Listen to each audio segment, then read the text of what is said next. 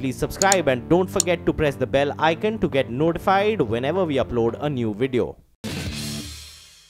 Let's begin with the good news first. Forest and tree cover in India has increased by about 1% to cross 8 lakh square kilometers. This is about 24% of the country's total geographical area. And this is according to India's State of Forest Report 2017 released this week.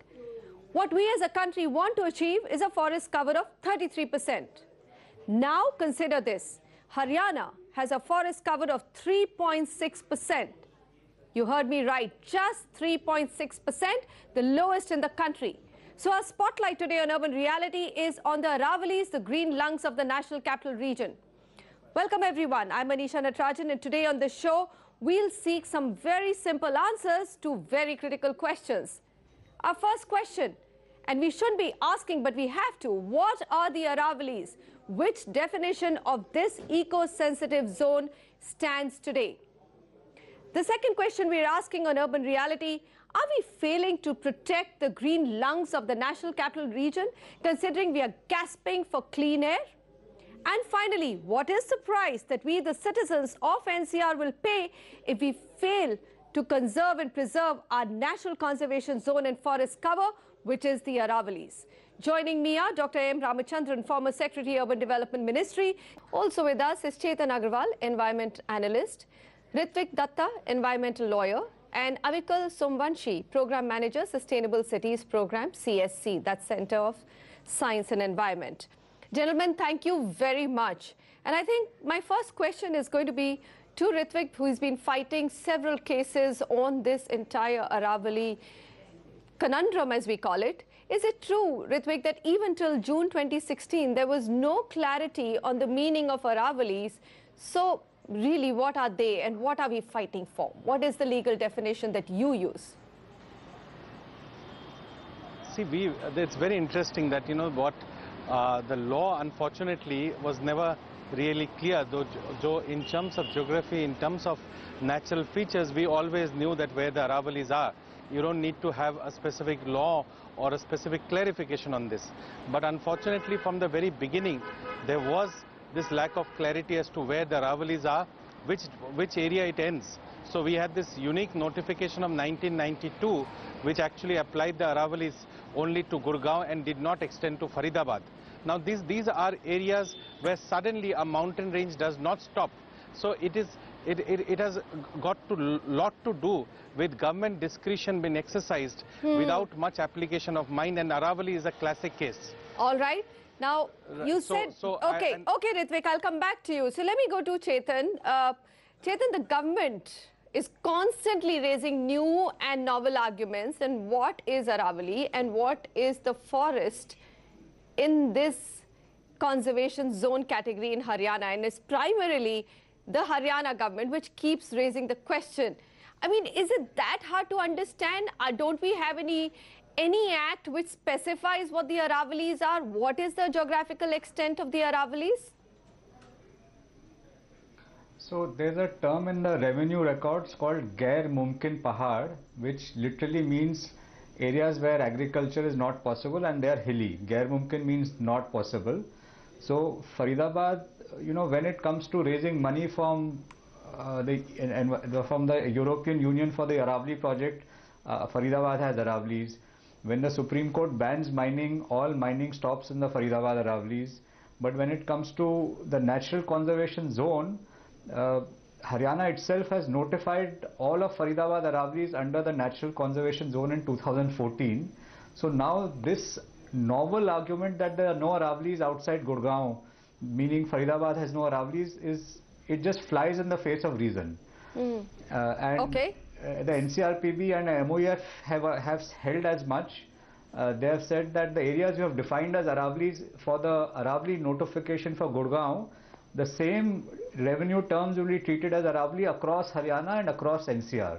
So if Gair Mumkin Pahad is Aravali in Gurgaon, then it should also be Aravali in Faridabad. Okay, all right, so very simple. Clarified. Doesn't seem to be too much of a confusion on what the Aravalis are. So Dr. Ramachandran, why is the Haryana government constantly coming back to the central government through NCR Planning Board and constantly questioning the act of, and now has, of course, in this recent meeting also said that we are going ahead, setting up a committee to review forest versus non-forest land. Is there no other way to really get the buck to stop at any place in terms of what is defined as the Aravalis and what cannot be touched?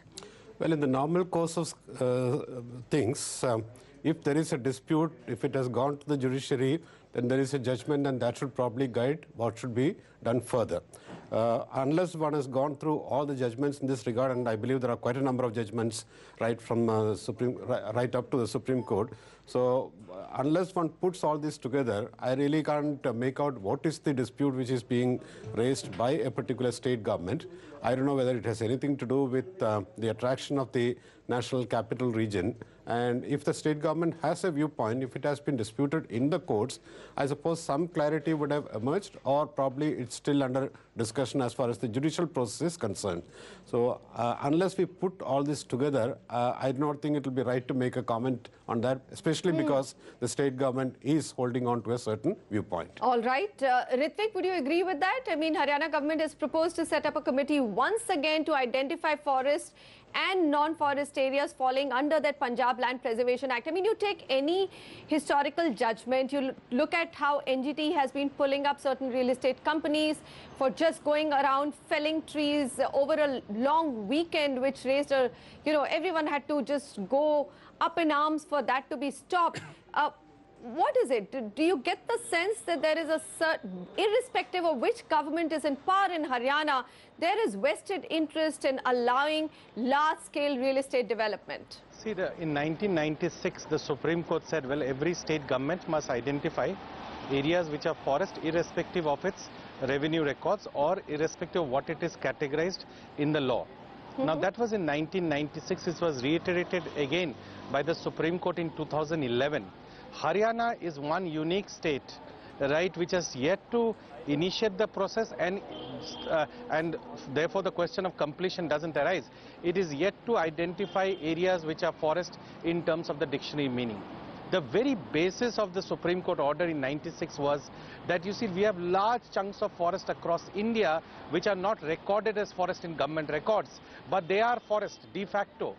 And therefore, this issue of a state which ideally should have been proud of having the oldest mountain range in the world is putting every effort to show that we don't have this heritage in our state. The day is not far when they will say Gurgaon also has no Aravalis and I find it very odd. You know, there is no notification, there is no law identifying where, where the Himalayas are. You see, there are, there are no laws which exactly say, well, this is the notification for Ganga, right? We now have it saying, well, you are to protect the Ganga, but every river, every stream, every mountain does not have to have a judgment of the Supreme Court. The courts have come out later. These entities were there before. And I think what is guiding everyone is real estate development. And, you know, and we are today at an area which is the highest polluted area in the world. Let's accept it.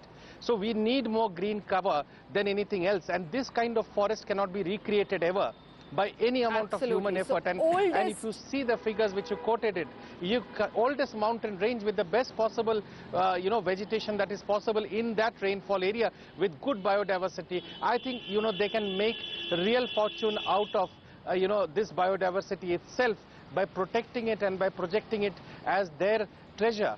And right. I find that it's so sad that for such a short-term gain, you know, we are willing to sacrifice this area under some definition or the other, which is, I think, very, very callous way of dealing with natural entities. Very callous way. I would agree with that. And I hope that the Haryana government wakes up after finding itself at the bottom of the pile in terms of forest cover of India. What is it that you fear as an outcome of this new committee which has been set up uh, or is being proposed to be set up, Chetan, to identify forest versus non-forest areas. I mean, you've always said that, you know, they could so, probably wipe out those 17,000 acres of Aravalis or so-called notified uh, conservation zone in Faridabad. Is that the biggest fear or there's more which could come out? Basically there are two kind of legal tags that the government wants to get rid of. One is they want, there's the natural conservation zone and the other is the forest tag. So if the forest tag is not there, then the Forest Conservation Act will not apply. if the NCZ tag is removed, uh, they basically they're saying it's not Aravali to avoid the NCZ tag because NCZ means that the limit on construction is half a percent, which is you can't do even a boundary wall in that. So the new committee basically it's it's reopening the question of whether the PL Punjab, you know, the certain part of the Aravalis were notified under the Punjab Land Preservation Act. Hmm. It's reopening the question when that was settled by the Supreme Court and in reopening it the right now 100% of that is forest so if they you know the answer will be either 0 or something between 0 and 100 which comes out of the committee which is a reduction from the current situation of 100% Okay. And Okay. secondly the area the areas which are outside the PLPA so there is about 50000 acres of Aravalis outside PLPA in Haryana All right. which the, the chief minister had and the chief secretary had given an assurance will be kept as status quo till the forest status of that area is decided as per dictionary meaning. Mm-hmm. Now those areas they have suddenly turned around last year and said it's not forest. So instead of examining the areas which have to be declared as forest, they, they should have looked at the entire Aravalis if they really wanted to look at it. But they're only looking at the declared forest and not looking at the rest of the forest. Okay. The implication is even Mangar Bani, which is in the Gair Mumkin Pahad area, it's outside the PLP area. They're not looking at whether it's a forest or not, when clearly anyone who goes and sees it in any time of the year. In fact, uh, in fact, that real estate company uh, uh, felled the the uh, all the trees. They're saying that these are bushes and not trees. So you know, this is an arid area, isn't it? I mean, the foliage of that area is also being uh, questioned, and that's another important thing. I mean, you can't say just because these are long, they are not tall, bushy, dense forests, they can be open for real estate development. Totally, because uh, forest is a really um, relative term. They are bush, they are they are grass forests, they are grasslands, they are these, these all are very important from ecological perspective, and they cannot be compromised upon. Even if it's a grassland, you cannot say it's not a forest. It has its own ecosystem, it has its wildlife, it contributes to the overall larger systems over there. It's a water drainage system. It has it it also keeps the air clean and maintains the overall overall environment of the region. So you just cannot say if it's not a 10 feet tall tree, it's not a tree, or it's, not, a forest. And that also has been used. Uh, Dr. Ramachandran, this is going to be a constant case of, you know, development versus our environment protection. And what role can the central ministry play in it? As you rightly mentioned, if the NCR Planning Board is uh, the bo- body which is taking care of uh, development in the region, and uh, as far as the Ministry of Urban Development, then Urban Development, now Housing and Urban Affairs is concerned, when it comes to a question of the title of land or the nature of land, urban development itself cannot lay down any, any policy or cannot dictate anything.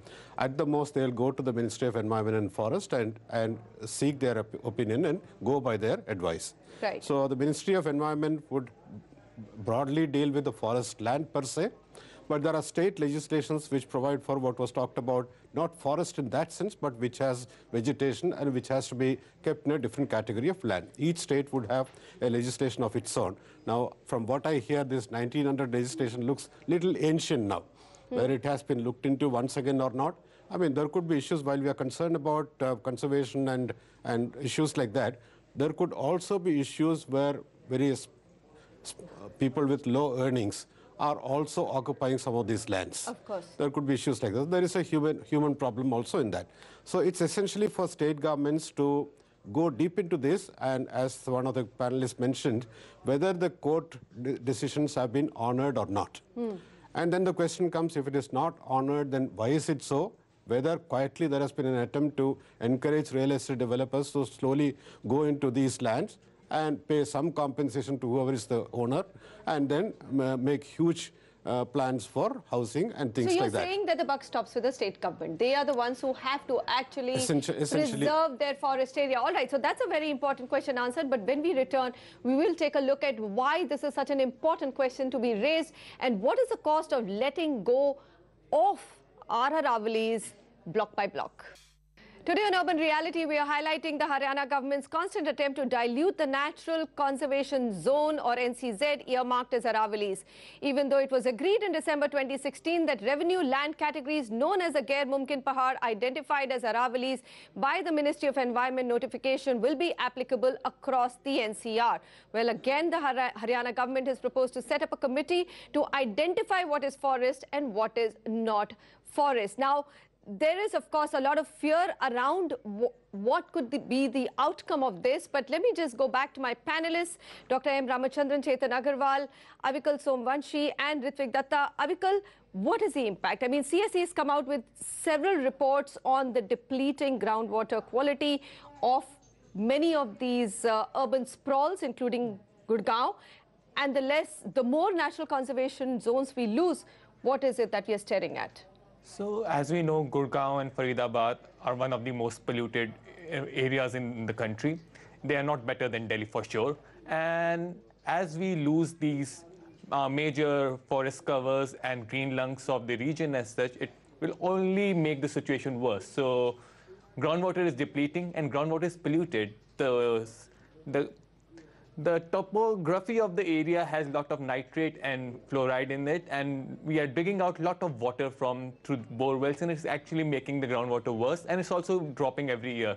And our study a few months back found that more than 130 water bodies have disappeared in Gurgaon itself. Mm. And Faridabad we have not looked into, but it won't be any better. So there's an extreme water shortage and scarcity in the region. If we lose Aravallis, it's only going to get worse and there's extremely high air pollution in the region. And if you open up these mountains, which are also really dusty, and allow construction activities, which are one of the major sources of air pollution in the region, this will only compound and make the region more unlivable. So, Avikal, you've actually One, summed up the situation. I mean, air is terrible that we are breathing, and of course, water quality is deteriorating. Water bodies, uh, including in this forest report and survey which has come out within the forest regions of Haryana, is also going down. Uh, Chetan, we're staring at a pretty scary situation, isn't it? Yeah, Gurgaon is losing groundwater at the rate of one and a half meters per year on an average and the Aravallis have approximately double the groundwater recharge rate than the plain areas because of the cracks and fissures. So Aravallis recharge about 2 million liters per hectare per year. So if we just value that at even 10 paise per liter, Aravallis gives us about 2 lakh rupees worth of recharge a year or about 25 lakh rupees in NPV terms. So just for that selfish reason alone, we should be protecting the 10% of the Aravallis that we have in Gurgaon, Faridabad. And from a revenue potential, uh, you know, eh, protecting Aravallis is a revenue neutral decision. There's 90% land still where you are, you know, you can spread the city out. So rather than giving 10 more license in the Aravallis, if you give it in the plain areas, the government doesn't lose any revenue. There's no revenue loss and there's all the environmental services to be gained. So it's a you know, it's a no-brainer. The only problem is some people are holding on to Aravali land which has been privatized. These are privatized common lands and they will make a windfall gain. What's worth 10 lakh rupees an acre will become 10 crores an acre.